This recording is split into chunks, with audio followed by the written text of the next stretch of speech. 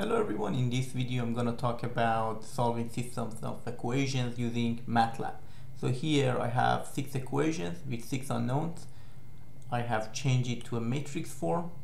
So each row is representing an equation and then this would be my coefficient matrix and I have my variable uh, the order that you write your variable doesn't matter but first you need to write your variable and then find the coefficient matrix based on these variables and then also the the known matrix so I'm gonna move these matrices into MATLAB write them in MATLAB and then take an inverse of my um, matrix A multiply it by B to get my unknowns so here I show you the same matrix, matrix A.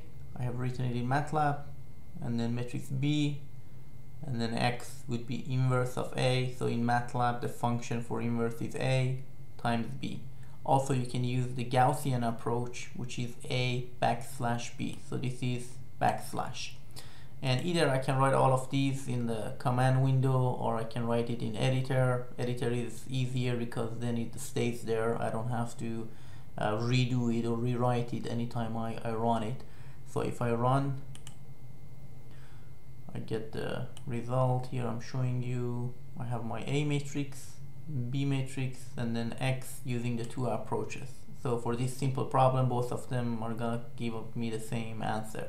But usually the Gaussian approach is better if you have a large matrix with a lot of uh, zeros. It always uh, yield a result for us.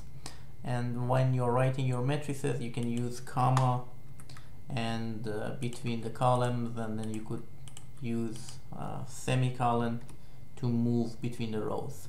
Uh, it really doesn't matter. I usually write uh, use the spaces instead of using commas and then I enter to go to the second row. That makes it look nicer so I can debug it to see if I have any error or uh, or not